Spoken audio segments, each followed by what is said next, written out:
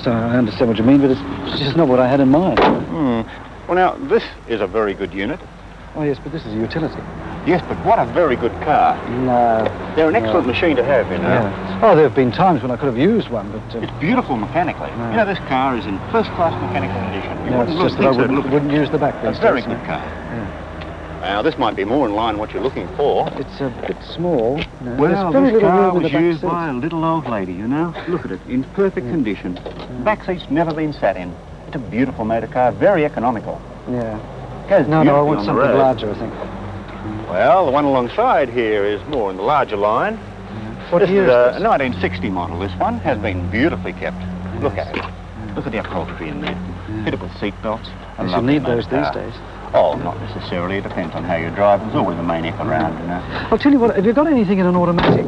I have just what you're looking for. I've been for. interested in one of those for a long time. Now, this car here, automatic transmission, Yeah. beautiful machine to drive. Every man owes it to himself to have an automatic transmission.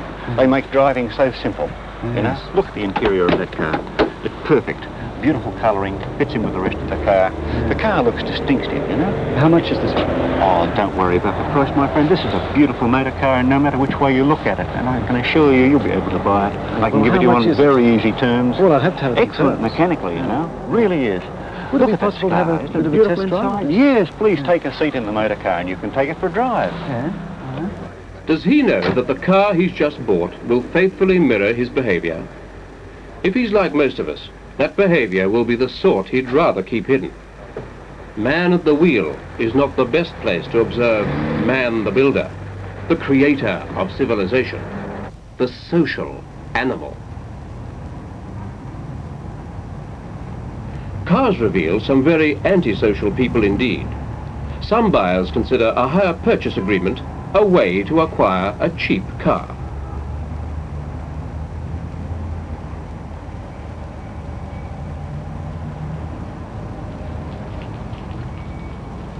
Ideal transport for that trip north. That holiday in the sun.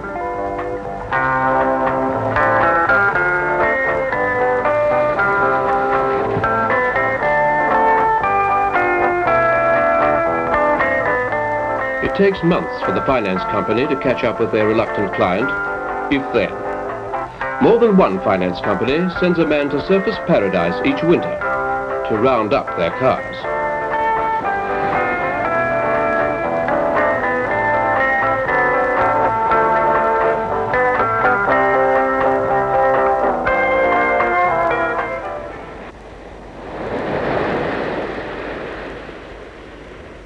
Our friends often show a strong sense of righteous indignation when their own turn comes.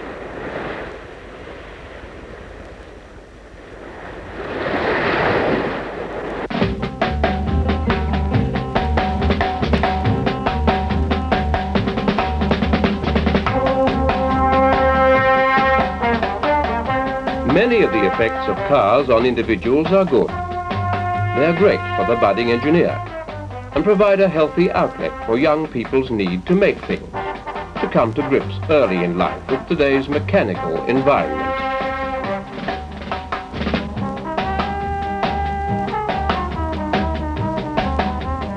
All too often, their motives are misunderstood. Instead of setting a good example, the oldies sometimes reveal their jealousy of today's affluent teenagers.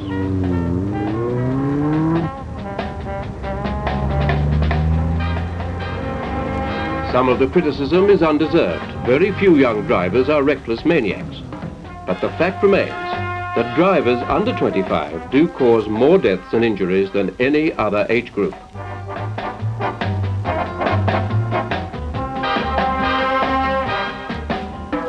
People between 17 and 25 hold only 18% of all licenses, but cause 34% of all fatal accidents. Though young drivers are fearless and quick to learn, their weakness is their impatience.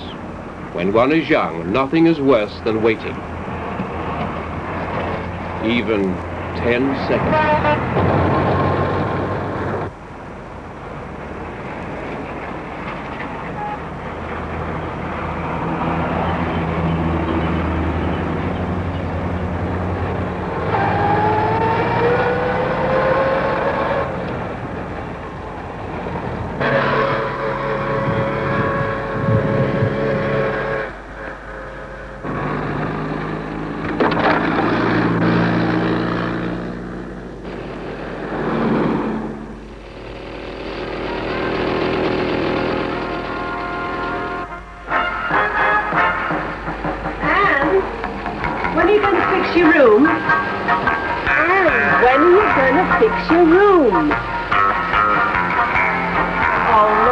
Switch that thing off, will you?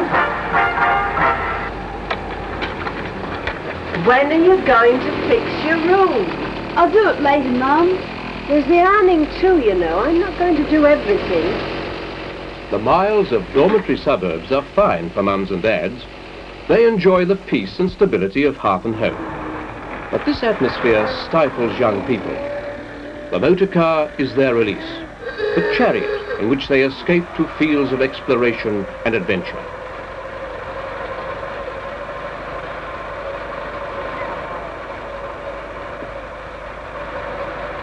Parents worry.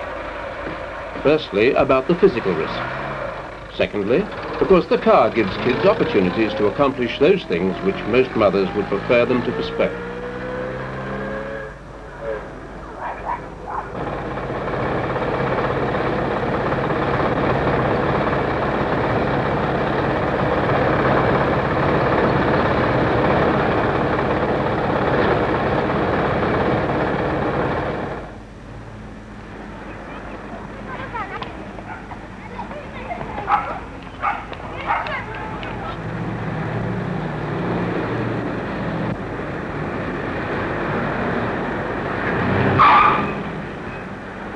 Should worry about their own behavior in cars. Aggression, inattention, an overdeveloped sense of one's rights can be seen on every road in Australia. Many a serious accident is averted by luck, not good management.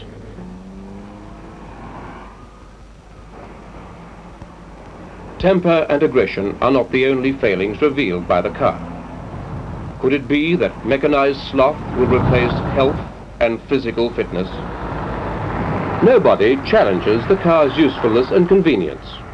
We don't have to use our legs anymore. This very fact contributes to ill health.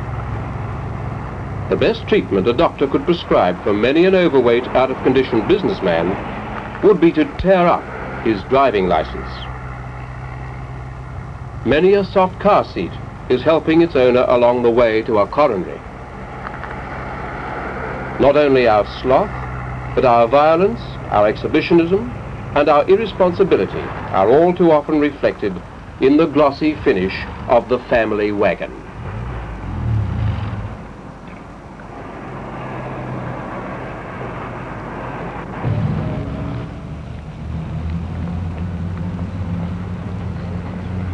Civilization makes man kindly, thoughtful and courteous. His conduct on the footpath seems to be left behind once he gets behind the wheel. Perhaps it's just the natural reaction to overcrowded roads and a tradition of inconsiderate motoring.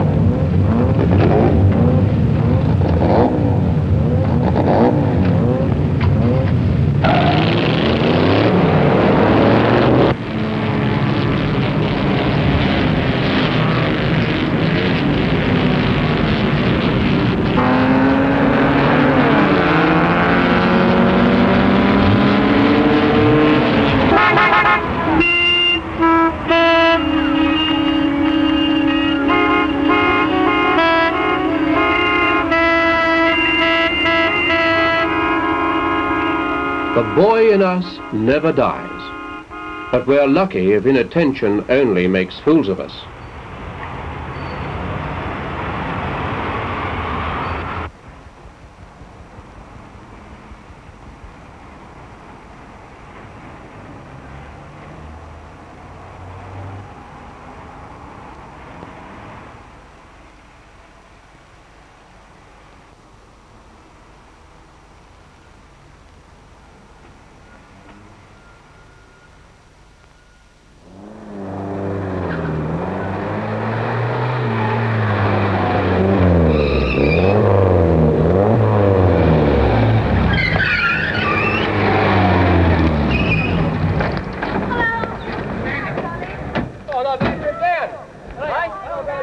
We've all suffered from the selfishness of others.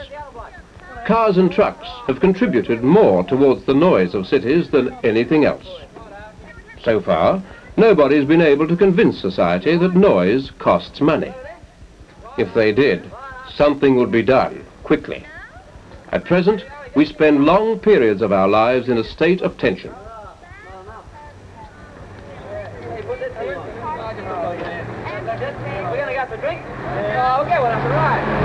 Go home! Go home!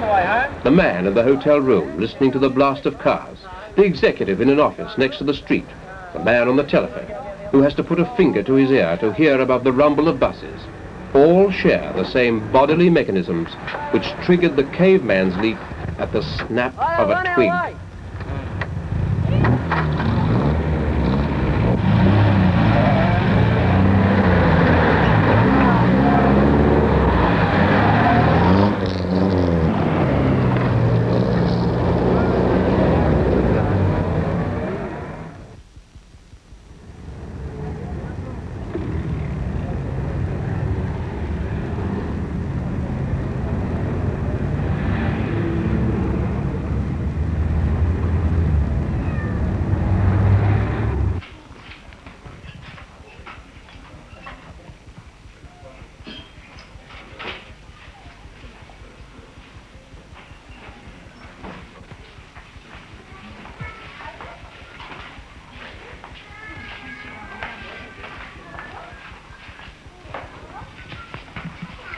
At the wrong time and place, the car and its driver is simply a noisy, ill-mannered nuisance.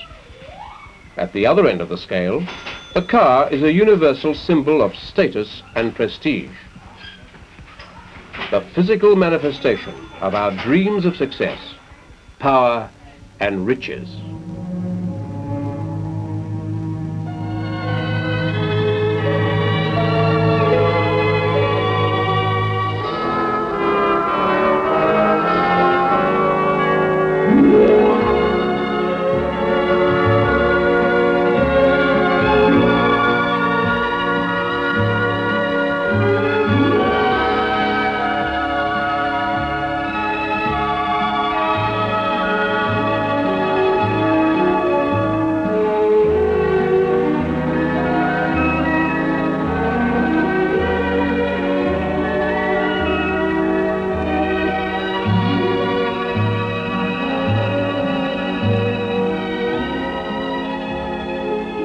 Want to believe that our car will enrich our lives, open new horizons of enjoyment, make us irresistible to the opposite sex.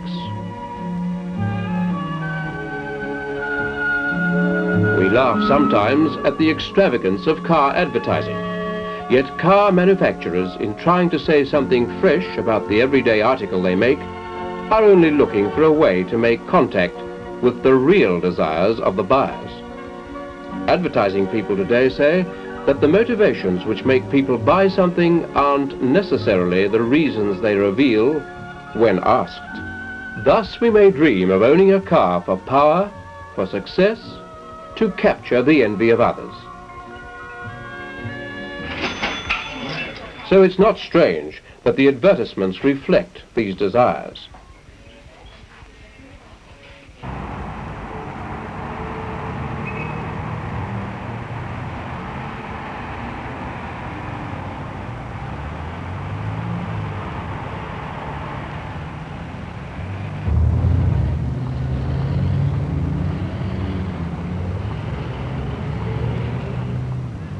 Everybody is impressed, secretly or openly, by a luxury car.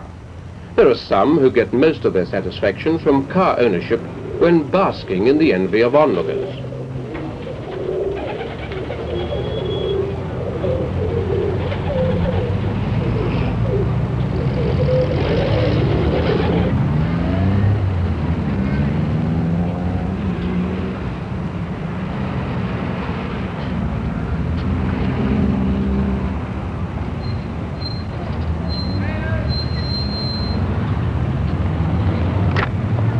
Much can be told about a person's mental makeup by the sort of car he drives.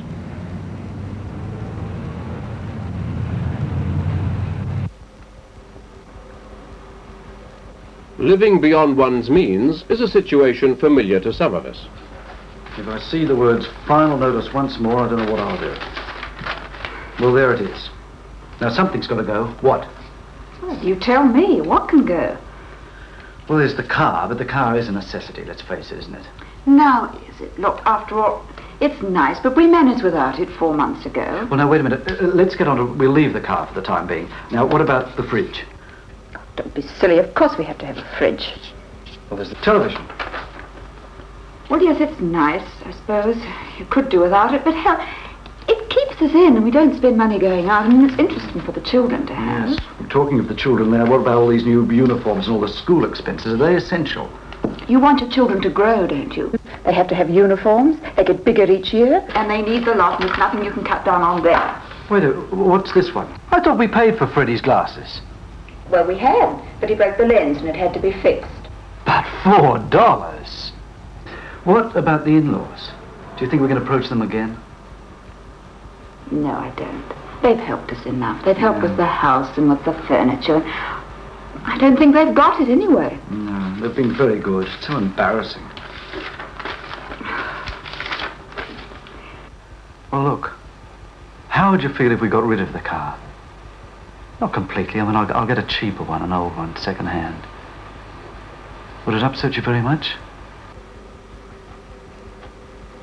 Right. I suppose the street would laugh at us a bit, but... No, it's... It's the only thing to Don't do. worry, don't worry. It'll only be for a short time. Things will get better, don't worry. Okay, then I'll get rid of the car. At last, our friend comes to his senses. Three months too late.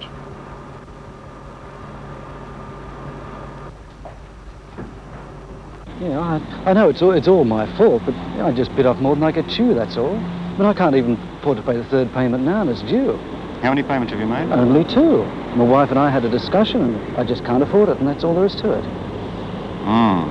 Yeah, I, I've looked after the car. Do you, don't you think you could raise the price at all? Well, my friend, business is business. I can't give you more than the car's worth to me.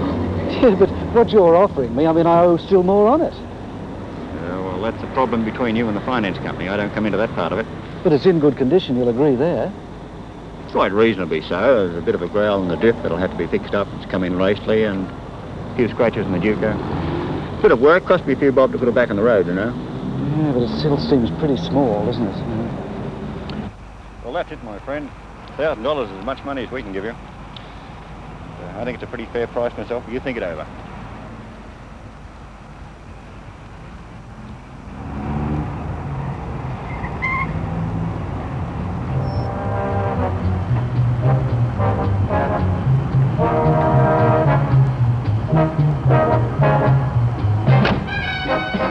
Unfortunately, when we get into financial difficulties over our car, we blame everyone except ourselves. We forget our greed, our inability to face the facts of financial life. When trouble comes, we blame the dealer, the car, or the people who lent us the money to buy it.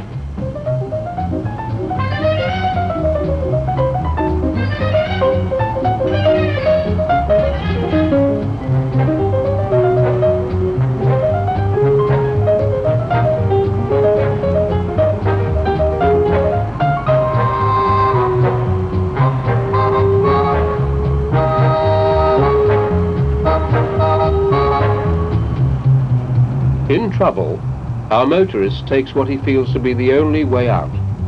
He gives it back to the finance company.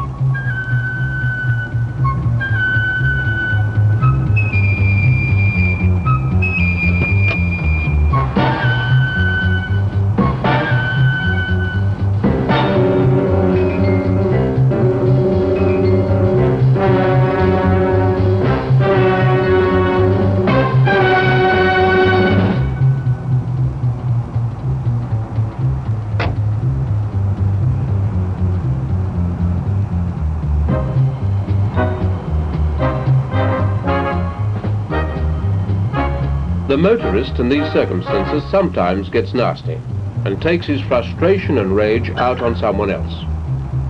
The finance company is usually the target.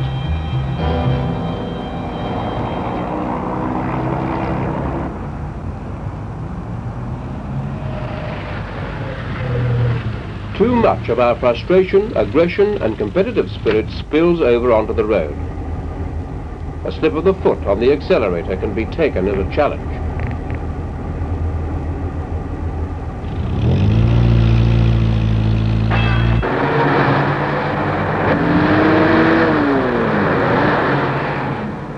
Motor car is here to stay. So is human nature. It's obvious which must adapt to the other.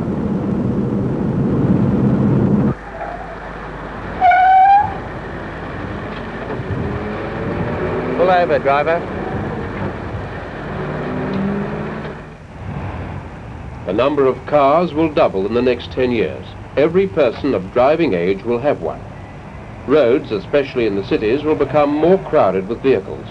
Speeds will rise. Our only concern with the behavior of people in their cars should be its effect on others. If people daydream at the wheel, if they lose their tempers, if they work off youthful spirits on crowded roads, they cause accidents. If they drive their cars noisily, they become a nuisance. Turning the street into a boxing ring inconveniences others. If they let their eyes run away with their pocketbook, they hurt their families. Passing more laws isn't the answer because we can't legislate human nature out of existence. One cure is to see ourselves as others see us. Leaving the scene of this whirlwind courtship, we ask, did you appear in our cast this evening?